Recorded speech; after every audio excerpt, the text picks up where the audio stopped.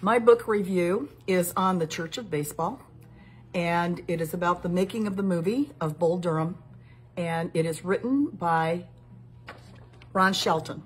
Ron Shelton not only wrote the screenplay, he also directed the movie. And the book covers the trials and tribulations of trying to get this movie done. Kevin Costner was just an up-and-coming star at the time, and just about every movie company rejected this movie. So this is about how they tried to get it done and how he had to fight also for the stars, Susan Sarandon and Ted Robinson.